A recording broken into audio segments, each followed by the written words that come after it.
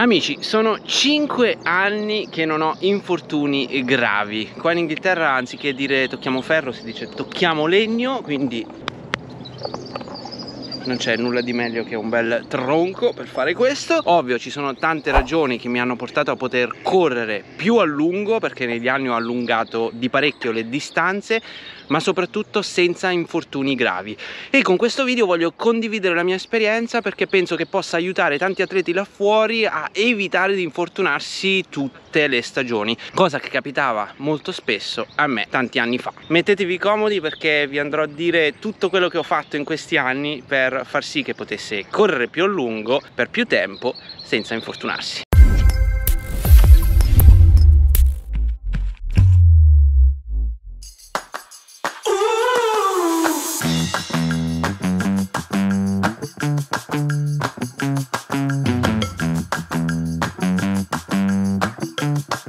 Ben ritrovati amici, che spettacolo di giornata che ho trovato oggi, perfetta per correre, anzi quasi troppo caldo qua a Londra oggi.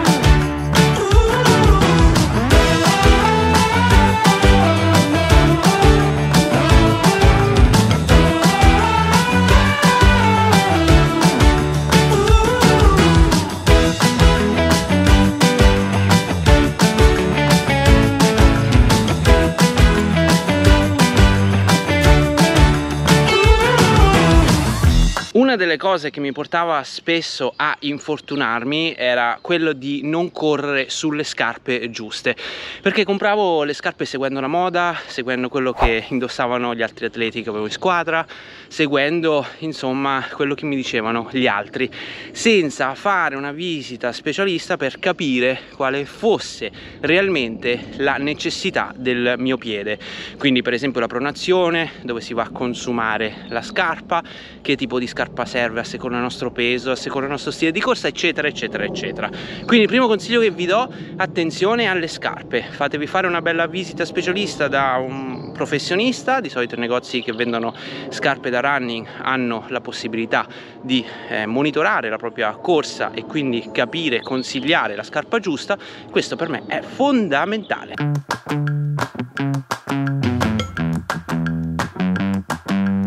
Un altro problema relativo alle scarpe è il consumo. Tanti atleti non conoscono il consumo delle proprie scarpe e eh, ci corrono su troppi chilometri portando appunto a conseguenze non proprio bellissime. Le scarpe hanno durate diverse. Ci sono delle scarpe pensate che possono durare appena 300 km ed altre con cui ci potete correre per 1000 km e le variabili sono tante ovviamente il tipo di scarpa il materiale ci sono delle scarpe che proprio per natura durano meno ma anche ovviamente il tutto dipende dal proprio peso da come ci si corre da dove ci si corre eccetera eccetera. Quindi bisogna essere in grado di capire se una scarpa è consumata o meno. Ci ho fatto un video un po' di anni fa provo a mettervelo sopra magari potrebbe essere un contenuto futuro su questo canale fatemelo sapere se volete avere un video relativo a come si capisce se una scarpa è consumata e quindi non ci si dovrebbe più correre o meno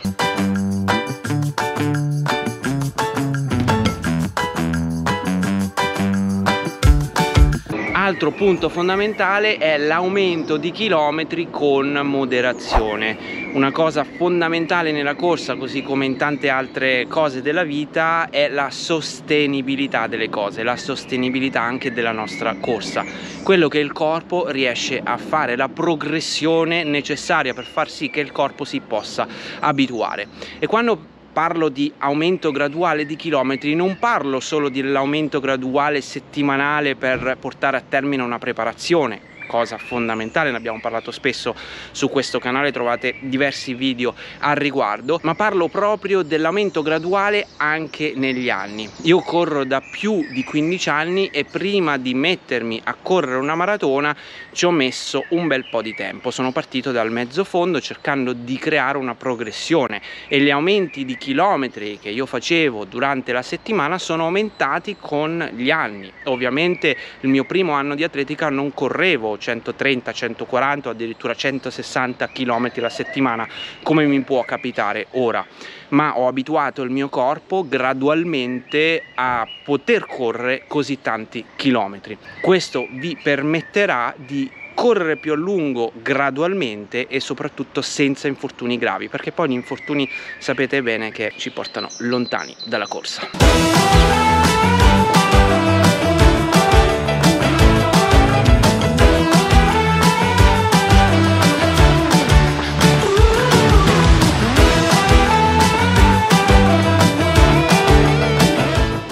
Un'altra cosa che ho imparato negli anni, che mi ha aiutato a correre più a lungo senza infortunarmi, è quello di variare il più possibile gli allenamenti. Sapete quanto è importante, ne abbiamo parlato spesso in questo video, vi ho anche fatto un video di come creare una vostra tabella, una vostra preparazione a una gara e la variazione negli allenamenti è fondamentale, quindi variare i ritmi cardiaci nei vari allenamenti, variare tipologia proprio di allenamento, fartlek, tempo run, medi, progressivi, ripetute in pista, su strada, in salita, ci sono un sacco di variazioni che sono fondamentali per abituare il nostro corpo a crescere gradualmente a livello muscolare, a livello aerobico, eccetera, eccetera.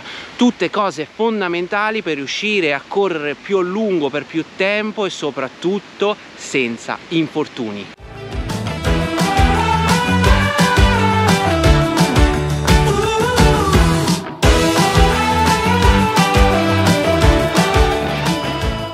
E quando si parla di varietà è importante variare anche percorsi, ovvero di non correre sempre su asfalto, sempre negli stessi posti, ma abituare le gambe, i piedi a lavorare su terreni e situazioni diverse. Quindi evito, cosa che prima per esempio facevo spesso, di correre sempre in pista oppure sempre su asfalto e di non variare mai. Ora ogni allenamento io cerco di correre su eh, un posto diverso. Un giorno corro su strada, un giorno corro sui prati come questi qua bellissimi che abbiamo in Inghilterra, un altro giorno faccio trail, un altro giorno corro sul tappeto in palestra per variare, per abituare le gambe a lavorare con situazioni diverse e soprattutto correre sempre su asfalto potrebbe portare poi a dei problemi, a degli infortuni anche seri. Quindi la variazione anche in questo senso per me è fondamentale. Quindi un po' di asfalto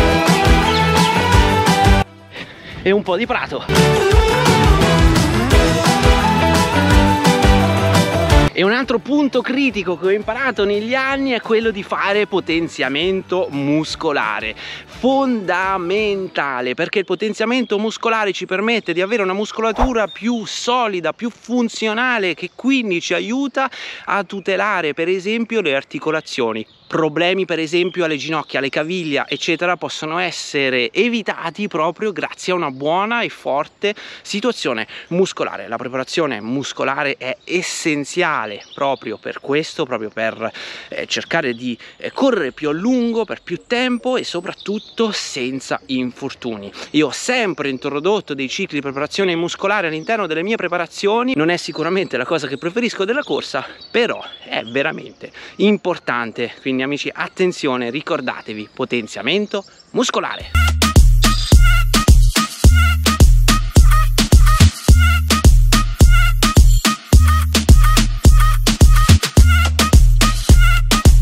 Un'altra cosa che mi ha aiutato tantissimo negli anni a riuscire a correre più a lungo, avere più resistenza, ad avere un corpo più funzionale, eccetera, eccetera, è stata sicuramente l'alimentazione, cosa che ho sempre avuto particolare attenzione nel modo in cui mangio, ma soprattutto negli ultimi anni che ho iniziato ad allungare veramente di parecchio le mie distanze, anche la quantità di chilometri settimanali, ho notato la differenza di quanto è fondamentale mangiare bene. Cerco di documentarmi ovviamente, capire esattamente a che cosa serve il mio corpo, cerco di mangiare sano, pulito, il più possibile, ovviamente non sempre ci si riesce, però il più stiamo attenti e meglio sarà per il nostro corpo e ve ne renderete conto, ve lo garantisco, io da quando mangio in una maniera più equilibrata, sto molto più attento, riesco a recuperare molto più velocemente dagli allenamenti, riesco a correre più a lungo, più resistenza, dormo meglio, insomma i vantaggi sono davvero tantissimi.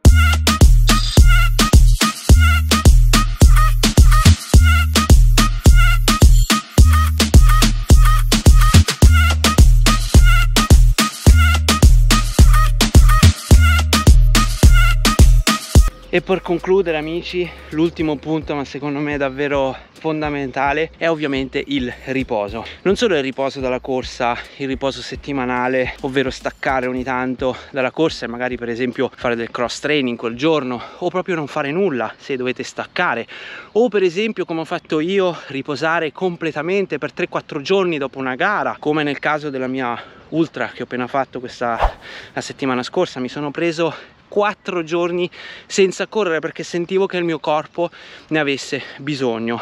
Ma anche il riposo quello classico del senso del termine ovvero di dormire di più. Ricordatevi che noi runners abbiamo bisogno di dormire in media di più rispetto a una persona normale che non fa sport. Noi runners abbiamo bisogno quell'oretta in più di riposo. Per noi quel riposo, quell'ora in più è essenziale per far sì che il corpo riesca a recuperare le proprie energie, che la muscolatura riesca a ricostruirsi, eccetera, eccetera.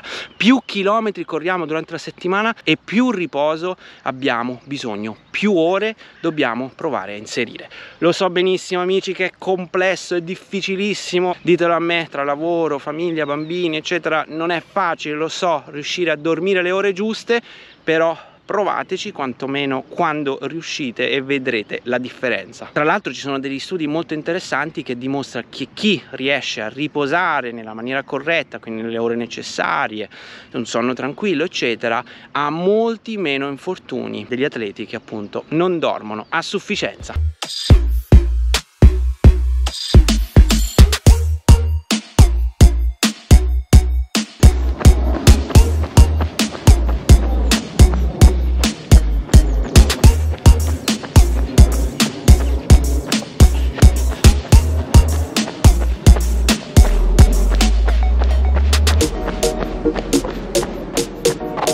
Amici, queste sono le cose che ho imparato io negli anni, che mi ha permesso finalmente di avere oltre 5 anni di corsa senza infortuni gravi. Per infortuni gravi parlo di infortuni che ti tengono lontana dalla corsa. È ovvio che questo non è tutto, nel senso che ci sono tantissime altre variabili che porta ad infortuni, per esempio il proprio stile di corsa, quindi per esempio il proprio stile di corsa, se ci sono dei problemi proprio biomeccanici, il modo proprio in cui eh, corriamo, il peso, se pesiamo troppo e facciamo troppi chilometri senza prima scendere di peso può essere un problema, la propria costituzione, insomma ci sono tante ma tante ma tante variabili, questi sono dei consigli per una persona ovviamente normale esclusi tutti quei fattori che non sono controllabili direttamente. Ci tengo anche a dire che infortunarsi fa parte del gioco, ci insegna tantissimo o ci dovrebbe quantomeno insegnare. Io ogni infortunio che ho avuto in carriera